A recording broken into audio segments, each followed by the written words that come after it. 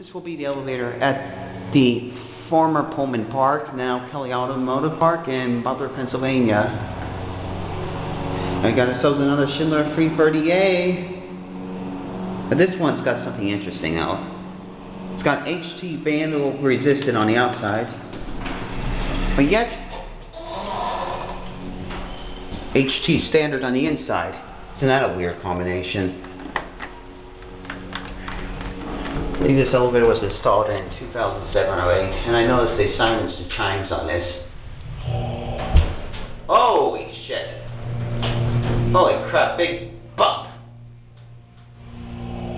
Okay, okay, okay, right.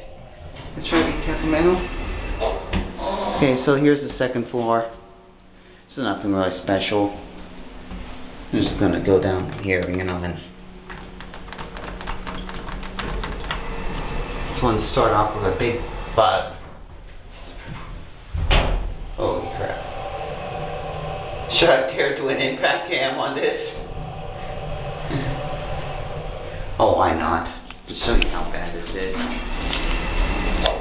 Oh dear God, I hope this camera doesn't get broken for doing this. Okay. Okay, alright. Come on, close And of Schindler door open, door close buttons. Here we go. Hold on.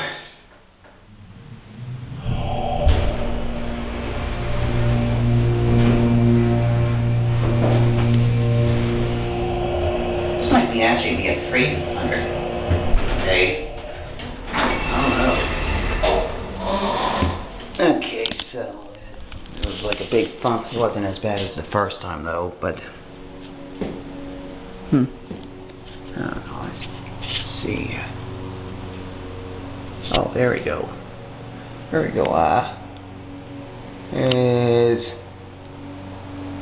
March of 2008. This was installed.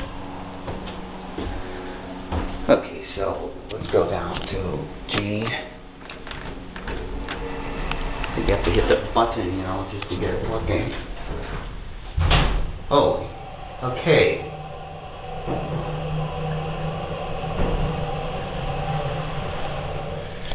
I'm all done here. Let me get a khaki.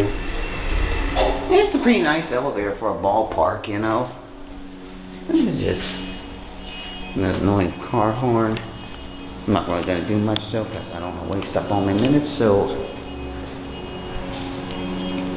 Come on, so there it goes, and that's it.